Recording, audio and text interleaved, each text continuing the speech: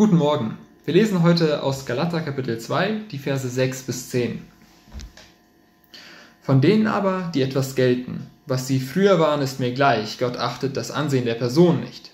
Mir haben diese Angesehenen nichts weiter auferlegt, sondern im Gegenteil, als sie sahen, dass ich mit dem Evangelium an die Unbeschnittenen betraut bin, gleich wie Petrus mit dem an die Beschneidung, denn der, welcher in Petrus kräftig wirkte zum Aposteldienst unter der Beschneidung, der wirkte auch in mir kräftig für die Heiden.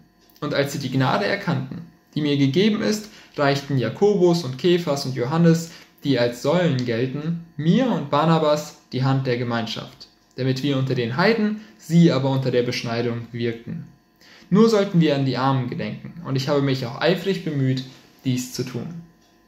Nun, dieser Text ist ein bisschen verschachtelt und hat viele Nebensätze, aber eigentlich ist er vom Inhalt ziemlich klar. Ich finde, dass wir hier vor allem zwei Gedanken sehen können, die wir heute für uns mitnehmen sollten. Zum einen sehen wir hier, genauso wie auch in den Versen davor, wie, pa äh, wie Paulus sein Amt, seine Stellung als Apostel verteidigt. Paulus möchte allen Menschen, die diesen Brief lesen und auch uns Christen heute zeigen, dass das, was Paulus gesagt hat, das, was er gepredigt hat, das, was wir in seinen Briefen lesen können, dass das wirklich wahr ist, dass das Wahrheit ist, dass er sich das nicht ausgedacht hat, sondern dass es das Wort Jesu Christi ist. Ähm, und wie auch in den letzten Versen beschreibt der Paulus hier, wie er auf die anderen Aposteln gestoßen ist. Und er sagt hier, äh, wie er auf die An, äh, Angesehenen gestoßen ist. Das heißt, die anderen Aposteln waren Menschen, die unter den Christen schon respektiert wurden, die schon Autorität hatten. Überall wusste man, dass das Aposteln sind, dass das wirklich Boten von Jesus Christus sind. Und Paulus beschreibt, dass als er mit ihnen geredet hat, da hatten sie nichts auszusetzen an der Lehre und am Evangelium, das Paulus gepredigt hat. Nein, sie waren vollkommen damit zufrieden. Sie haben gesagt, dass das, was Paulus predigt, dass das auch tatsächlich das echte Evangelium ist, was auch diese Aposteln gepredigt haben. Sie haben ihm nichts auferlegt, also nicht irgendwie noch was dazu gemacht. Nein, im Gegenteil, sie waren sehr zufrieden und ähm, haben übereingestimmt. Es steht, dass diese Aposteln ihm die Hand der Gemeinschaft gereicht haben. Das heißt, sie waren bereit, miteinander zu wirken, miteinander zu arbeiten, weil sie wussten, dass Paulus genau dasselbe Evangelium von Jesus äh, predigt.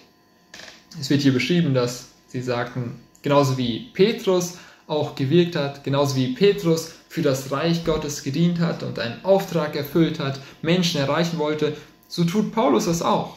Sie haben genau dasselbe Ziel, sie haben dieselbe Mission, sie haben denselben Auftrag, nur die Zielgruppe ist eine andere.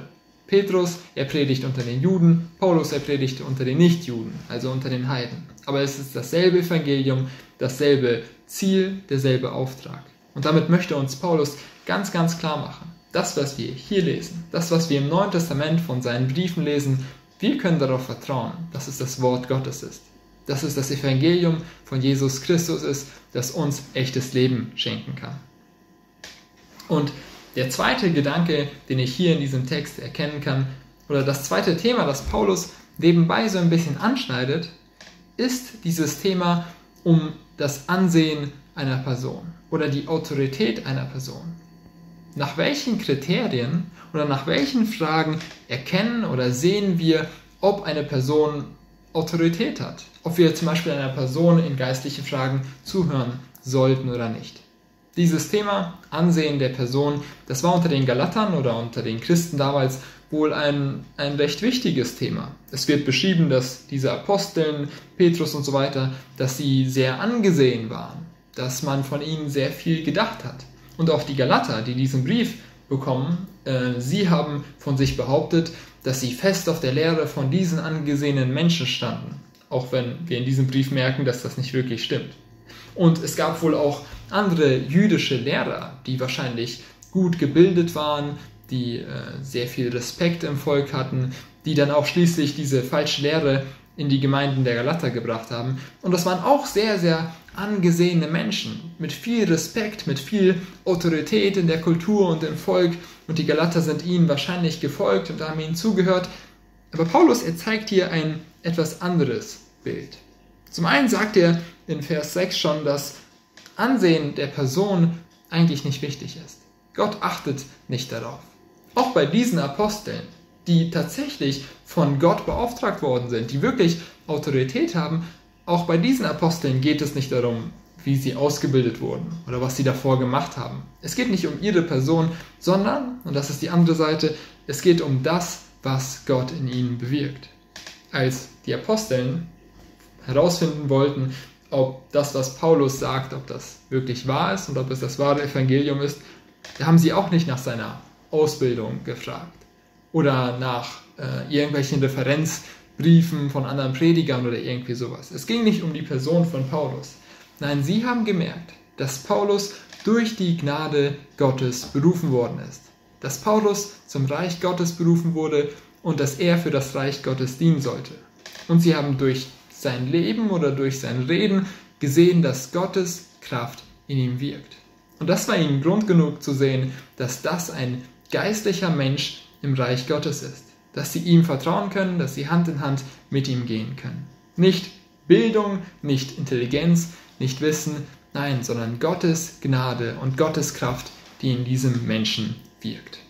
Das heißt, die Frage an uns ist, nach welchen Kriterien oder nach welchen Gedanken überlegen wir zum Beispiel, ähm, ob wir dem Rat eines Menschen zuhören oder nicht. Wenn wir in einem Problem stecken, wen fragen wir da? Ist es vielleicht irgendein Prediger oder ein Theologe, den wir online sehen, der viel gepredigt hat, der viel die Bibel studiert hat, der viele Studien hinter sich hat und deswegen sagen wir, okay, der hat Ahnung und der wird uns mit Sicherheit die richtige Antwort geben.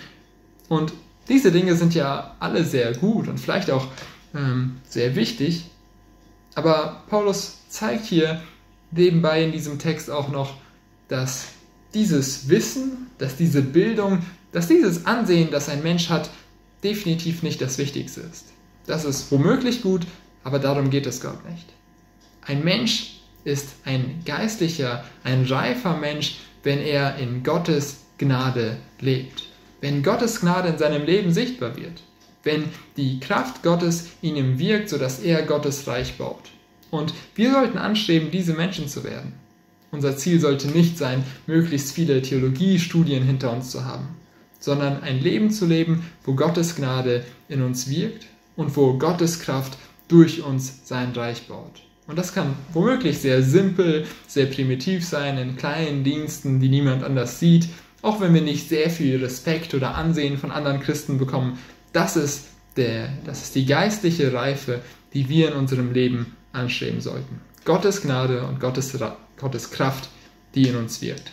Ich möchte beten für uns. Ich möchte beten, dass wir anstreben, diesen, äh, diese geistliche Reife anzustreben und nicht irgendein äußerliches Ansehen unserer Person. Gott, ich danke dir dafür, dass du uns auch heute dein Wort gegeben hast. Danke, dass wir vertrauen können, dass es wahr ist.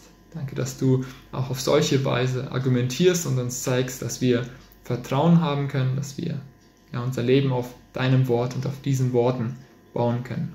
Ich bitte dich darum, dass wir, ja, dass unser Ziel in unserem Leben nicht ist, dass wir versuchen, irgendwie andere Menschen zu, zu überzeugen durch unsere Person, durch unsere Bildung, durch unser Wissen.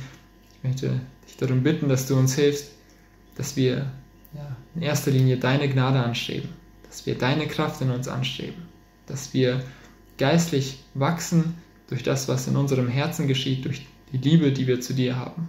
Ich bitte dich, dass das unser Zeugnis ist, dass wir dadurch zu, zu Menschen werden, ja, die auch andere beeinflussen und anderen helfen können. Ich bitte dich für heute, ich bitte dich darum, dass du uns Gnade schenkst, auch an diesem Tag. Amen.